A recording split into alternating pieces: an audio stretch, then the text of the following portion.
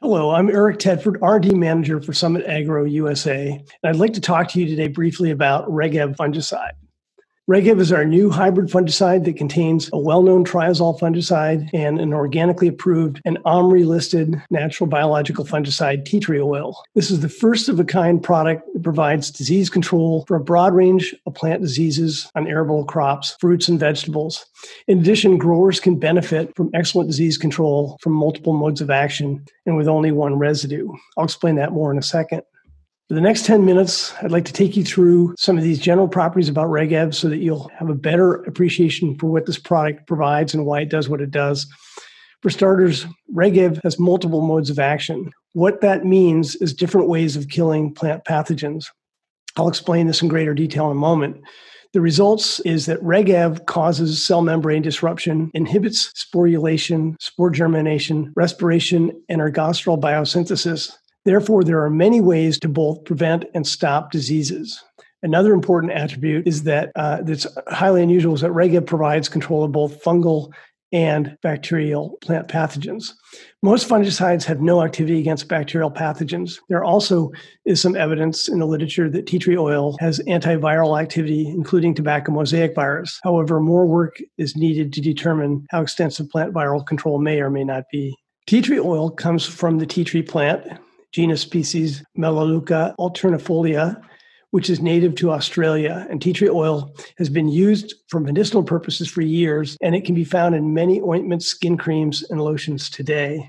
There are eight different terpenes in tea tree oil, and that is why tea tree oil imparts multiple modes of action against fungi and bacterial pathogens. To better understand the benefit of this combination of difenoconazole and tea tree oil, let's look at this image that depicts the general life cycle of a fungal pathogen. Fungi generally overwinter in plant tissue, in the soil, or in crop debris. When favorable conditions arise, fungi will sporulate and infect leaves, flowers, and other susceptible parts of the plant, like the fruits, Disease will develop, and the fungus often will sporulate and reinfect other plants in the field or throughout the field. Fungicides are considered preventive if they work early and prevent the infection from occurring. They're considered curative if they stop down infections that have already begun. And a good example of these are the triazoles like difenoconazole. And very few fungicides have antisporulin activity, but if they do, that would be shutting down infections more of a, an eradicant type of treatment, and very few fungicides do that. Difenoconazole provides curative activity. And like other triazoles, that's how it works. It, it doesn't prevent anything, but it only comes in and stops infections that have already occurred. Tea tree oil, however, because it has multiple constituent terpenes, provides multiple modes of action that provide preventive, stopping infections, as well as curative activity, and as well as antisporulin activity. And I'm going to show you some examples of this in just a minute, all, all of these components. So, what do you mean by multiple modes of action with tea tree oil? Because tea tree oil contains these eight constituent terpenes, they provide activity on inhibition of sporulation, inhibition of spore germination, disruption of cell membranes, inhibition of respiration, and inhibition of fungal growth. Tea tree oil also inhibits quorum sensing, which is integral to the infection process of many pathogenic bacteria. And recently, there have been publications that have revealed that tea tree oil also induces systemic resistance and systemic acquired resistance in bananas and tomato plants. And we'll get into that in deeper detail in a future podcast. But if you look at the shape, it looks very familiar with one that we see all the time on the roads and streets. It's stopping fungal, bacterial, and potentially viral pathogens. I'm going to take you into each of these attributes. And let's start out with inhibition of sporulation. In this example, you can clearly see that tea tree oil in the top left has completely prevented powdery mildew from sporulating on the leaves here. It might not look all that impressive, but it's important and let's take a closer look at what's really going on. Using scanning electron microscopy, we can clearly see in the image on the right that tea tree oil is not allowing for normal spore formation. On the untreated plant on the left, you can see chains of spores forming on the surface of the leaf. In another image, showing a normal looking spore on the left and an unnormal spore on the right where tea tree oil was applied, clearly having an adverse effect on spore development. Now let's take a look at inhibition of spore germination. Using fluorescent microscopy, we can see differences in spore germination and formation of infection vesicles. The blue orbs are conidia or spores. The light green tubes that you see growing from the spores are infection vesicles, and the dark green dots are where the fungus has penetrated into the plant. You can clearly see on the right that tea tree oil has prevented most of the spores from germinating, and there are no infection vesicles there at all. In these images, we can see an elaborate spore structures called conidiophores that have developed in the untreated images on the left. These structures bear conidia or spores that will further spread the disease to other plants. For the tea tree oil images on the right, you can see that there are no conidiophores nor spores. This essentially is what happened in the images of the leaves that I showed you just a few minutes ago. Tea tree oil prevents spore from germinating, prevents infections from occurring, and prevents sporulation and further spread of the fungus. Let's now take a look at the key mode of action that's responsible for fungal and bacterial mortality. that's disruption of cell membranes. These images of fungal hyphae are magnified 50,000 times using scanning electron microscopy, and they illustrate the unique mode of action of tea tree oil on the fungus that caused black sigatoka bananas. You can see in the untreated hyphae, hyphae treated with mineral oil and hyphae treated with triazole fungicides are not affected.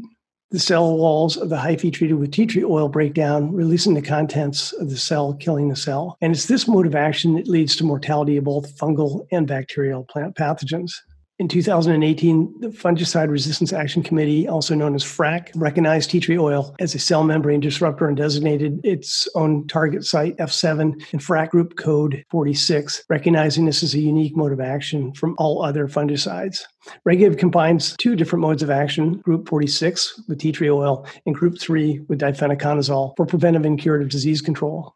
Let's now take a look at inhibition of mycelial growth or fungal growth. And Dr. Moshe Reuveni and colleagues measured growth of fungus that causes apple scab on nutrient media that was amended with either Captan and tebuconazole, difenoconazole, Regev, or nothing at all, the untreated check. You can clearly see that all three fungicides inhibited fungal growth, and difenoconazole did an excellent job alone. However, the combination of difenoconazole and tea tree oil and Regev completely shut down fungal growth. So you might be wondering what growth in a petri dish has to do with the real world. In this graph on the top, you can see the same data that I just showed you, mycelial growth on agar. And in the graph below, you can see data from a field trial where apple trees were sprayed either with difenoconazole alone Regev or not sprayed at all. We see the same effect in disease reduction by reducing fungal growth and sporulation in the field.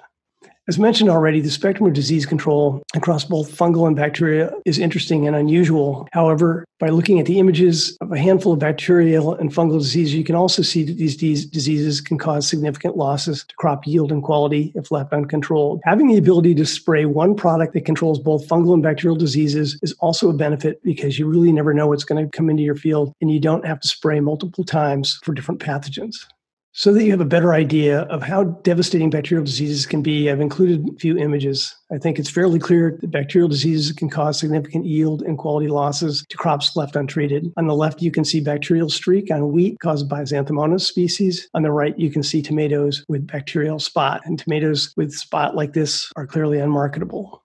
Bacterial diseases can also be de- devastating, as you can see in this tomato field with southern bacterial blight. And I think it's safe to say that nobody would eat the potato on the right that looks like that, um, not to mention the smell from bacterial soft rot. Well, we've been talking about tea tree oil for fungal and bacterial disease control, but there've also been some recent publications where they've found that tea tree oil has activity against certain viruses. And this is just a list of some of those publications. There's still a lot that we need to know about the effects of tea tree oil. There has been a publication on tea tree oil having an effect on tobacco mosaic virus. And there's really more that we need to do to find out how extensive or not tea tree oil is on controlling viruses in the field, in addition to fungal and bacterial diseases.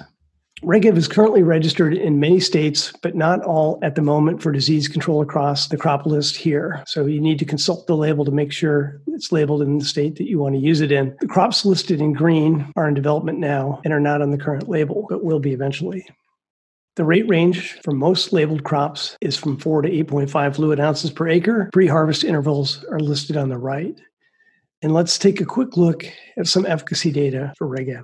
I'm going to first show you some data for pecans and control of pecan scab, which is a very important and devastating disease of pecans. In this pecan trial, either Timorex Act at 21 ounces per acre or Regev at 8 ounces per acre or Super Tin Elast alternation program at 12 and 48 ounces respectively were tested. Scab severity was assessed on June 21st, June 28th, July 5th, and July 12th. Regev and the Super Tin Elast treatments provided the best scab control in this trial. Keep in mind that Regev is much more user friendly than our Super Tin and Elast.